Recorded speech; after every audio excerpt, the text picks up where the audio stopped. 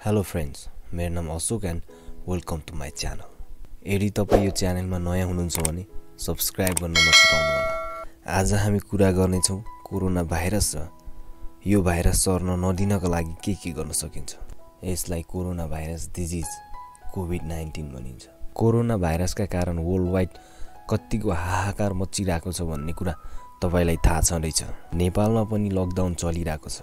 यसलाई उल्लङ्घन गर्ने काम नगर्नुहोला यही समय हो घर बसी बसी आफूलाई बचाउने परिवारलाई देशलाई बचाउने देशभक्ति देखाउने सबैभन्दा सजिलो लडाइँ यही हो।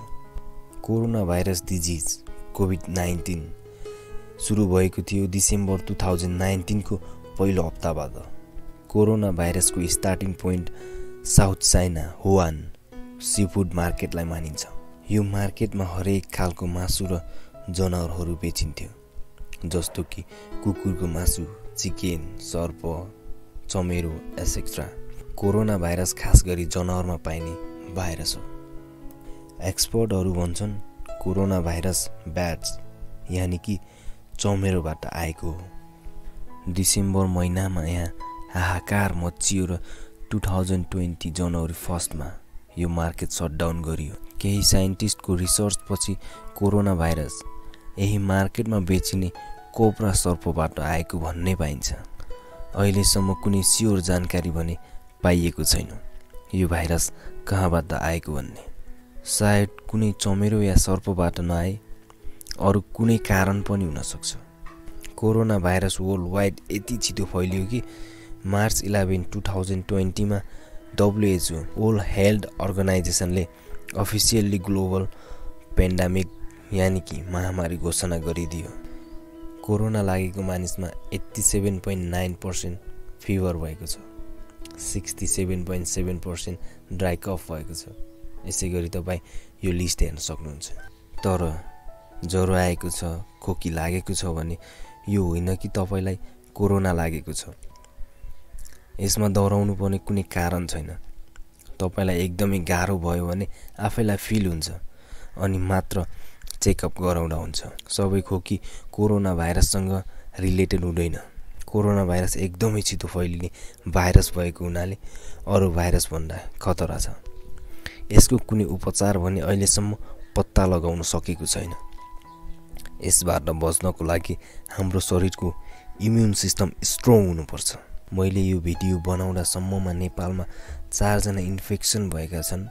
एकजना रिकभर भइसकेका छन्। र वर्ल्ड वाइड पाँच लाख सतासी हजार नौ सय अन्ठाउन्नजना इन्फेक्सन भएका छन्।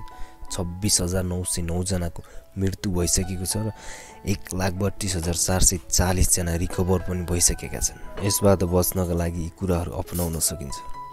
नम्बर एक वास युर ह्यान्ड साबुन पानीले मजाले मिची मिची हात धुने। नम्बर दुई सोसियल डिस्टेन्स मेन्टेन गर्ने। नम्बर तिन हेल्दी फुड खाने। नम्बर चार घरभित्र बस्ने।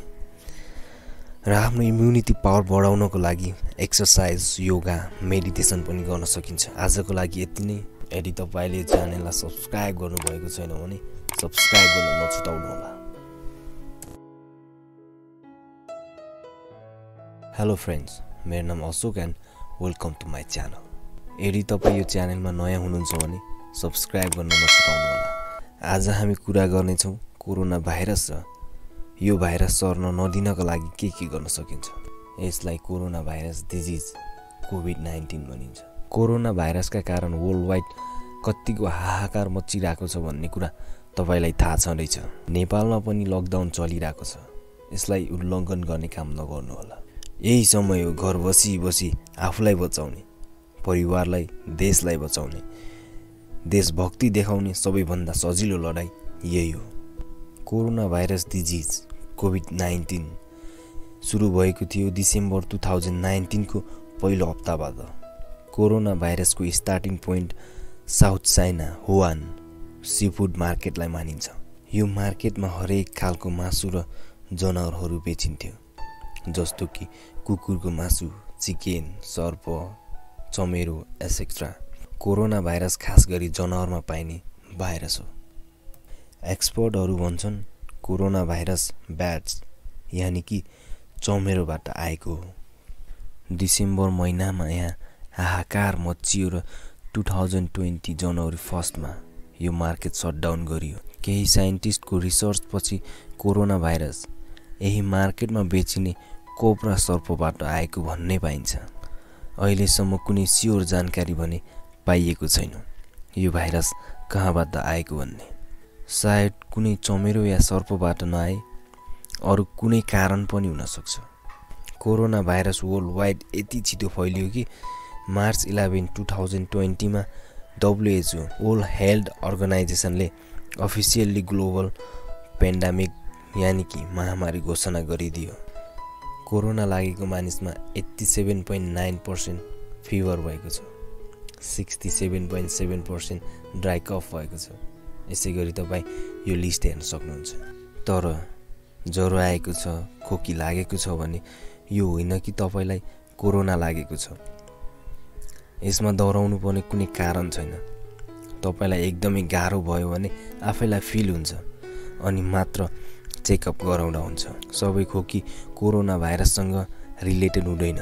कोरोना भाइरस एकदमै छिटो फैलिने भाइरस भएको हुनाले अरू भाइरसभन्दा खतरा छ।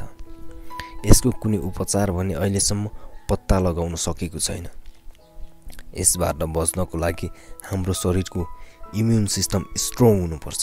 मैले यो भिडियो बनाउँदासम्ममा नेपालमा चारजना इन्फेक्सन भएका छन् एकजना रिकभर भइसकेका छन् र वर्ल्ड वाइड पाँच लाख सतासी हजार नौ सय अन्ठाउन्नजना इन्फेक्सन भएका छन् छब्बिस हजार नौ सय नौजनाको मृत्यु भइसकेको छ र एक लाख बत्तिस हजार चार सय चालिसजना रिकभर पनि भइसकेका छन्। यसबाट बच्नका लागि यी कुराहरू अपनाउन सकिन्छ। नम्बर एक वास युर ह्यान्ड साबुन पानीले मजाले मिची मिची हात धुने। नम्बर दुई सोसियल डिस्टेन्स मेन्टेन गर्ने। नम्बर तिन हेल्दी फुड खाने। नम्बर चार घरभित्र बस्ने। र आफ्नो इम्युनिटी पावर बढाउनको लागि एक्सर्साइज योगा मेडिटेसन पनि गर्न सकिन्छ। आजको लागि यति नै। यदि तपाईँले च्यानललाई सब्सक्राइब गर्नुभएको छैन भने सब्सक्राइब गर्न नछुटाउनु होला